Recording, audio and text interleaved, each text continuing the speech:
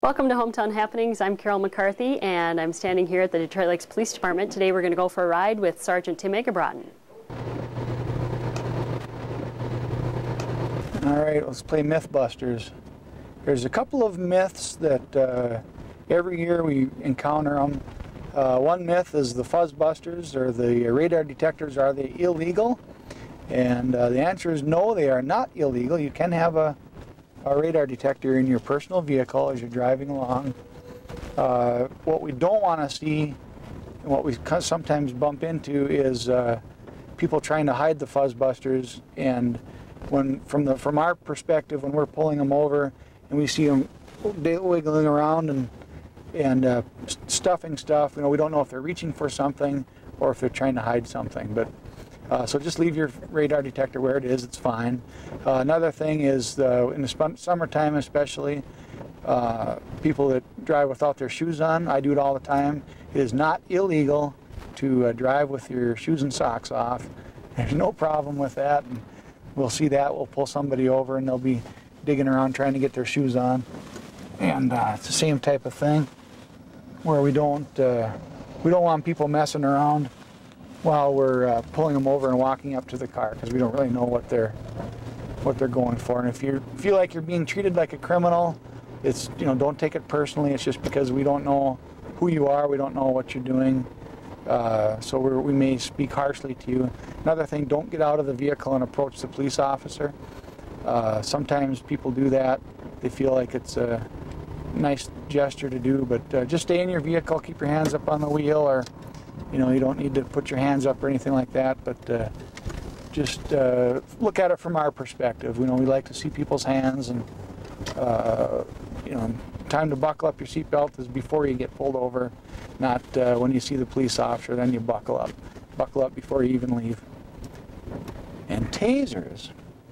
Uh, a couple years ago, our department was issued tasers, and uh, we've had several successful tasings. And I know in the media, when they first came out, there was some uh, controversy. There's some uh, in custody deaths that uh, some people have attributed toward the taser, and there has been no uh, medical documentation or anything attributing these deaths to the tasers.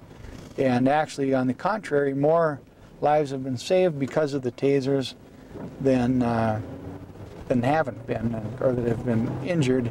And uh, what the tasers do is they shoot out about 50,000 volts. Uh, two probes come out and they stick into the shirt or clothing or skin. Um, and they deliver these volts for a period of five seconds. And after the five seconds are done, then the, we can keep pulling the trigger, but most of the people uh, have complied after that first five second. Actually, most of the tasings that I've personally done, I shut off after about three seconds uh, because it we gain compliance. Nope, we have no quota. Actually, there's a state law prohibiting quotas, and uh, so we'll get that a lot where people will ask us, or they'll tell us, you know, you're just giving me a ticket because of the quota. And we have no quota. Uh, the reason we enforce the laws are the same reasons that the laws are made. There's a reason for it. Uh, speeding, for example, a lot of our accidents are a direct result of people going too fast. And so we go out there and we enforce speeding to remind people to slow down. So it's nothing, you know, as you can see when we're driving around here at night, uh, all we're seeing is a pair of headlights coming at us and our radar. And uh, I would challenge anybody when you're out driving around at night uh, to identify how many people are in the car that you see coming at you, identify their sex, identify their race.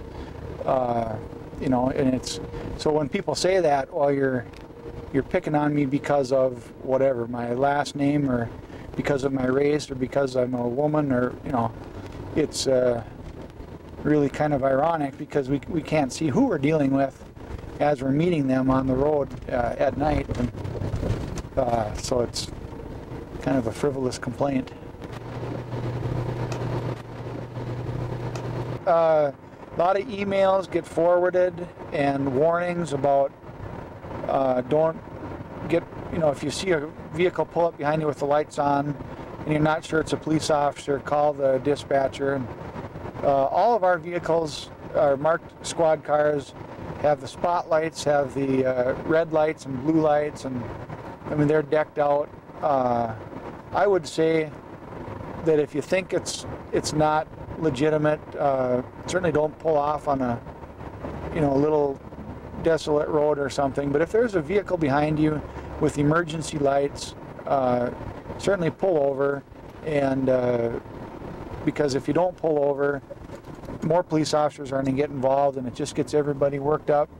Uh, if it is somebody like a, a, predator or somebody that that has a light, um, you know, I, I, haven't. I've heard of some people getting pulled over by uh, fake police officers, and they just have one single light up on top.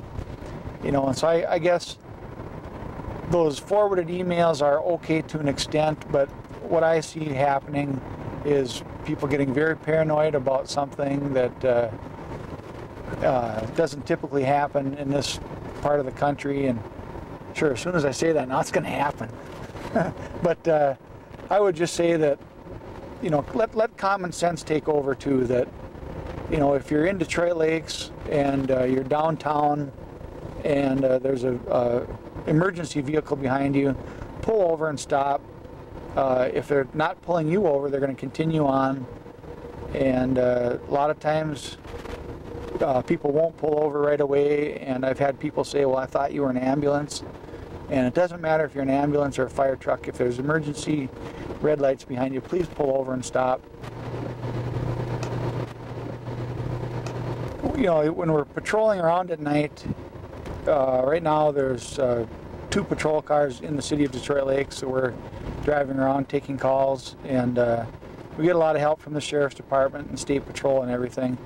But it's if you look at the map of the city of Detroit Lakes and the the uh, area that we have to cover, we really makes you realize that we rely heavily on the public for their eyes and ears. You know, if if the dog uh, that lives next door starts barking and doesn't normally bark at night, or if your neighbor's motion light goes on, uh, don't wait until the next day or the next week. You know, when you see a police officer, uh, there's no such thing as uh, bugging us. All we're doing is we're out here patrolling right now and waiting for people to call in, and we're looking for stuff too. And a lot of people feel that uh, they're going to be bothering us or that they'll feel stupid if they call and there's nothing out there. We would much rather have somebody call us and we get to the scene and uh, there is nothing. And we'd much rather have that than somebody having to put up with their neighbor's loud party all night long and and they see us the next week and they say, where were you guys on Saturday night when my neighbors were partying till 4 o'clock in the morning? So don't ever hesitate uh, to call in on anything. One of the things that we deal with a lot are uh, drunk drivers and with the cell phones now, everybody's got a cell phone, and you know that just helps us out being the eyes and ears out on the roads too. And uh, some people will ask me, well, I hate to call in a guy on, for drunk driving because I don't know for sure if he's drunk, and that all relates back to the same thing in your neighborhood. If you if you're driving along on the highway and you see somebody weaving back and forth, or they speed up and they slow down and just driving erratically, uh, certainly give us a call. We'll we'll try to get them pulled over, and uh, sometimes maybe it's just a, uh, somebody who's tired, been on the road a while, and and uh, that's just as dangerous as a drunk driver in a lot of cases. So, you know, by us pulling them over, it may wake them up or give them the uh, heads up to pull off somewhere and take a power nap. But uh, again, we're out here doing what we do and uh, anybody that can be out there helping us out by calling us in a drunk driver or a suspicious prowler or something, uh, don't don't ever feel like it's it's bothering us because it's not. It's a uh, it's something that we do, and and we'd be more than happy to investigate it. Well, that's going to wrap it up for today. Uh, my thanks to Sergeant Tim Egerbrotten and the Detroit Lakes Police Department for Hometown Happenings. I'm Carol McCarthy.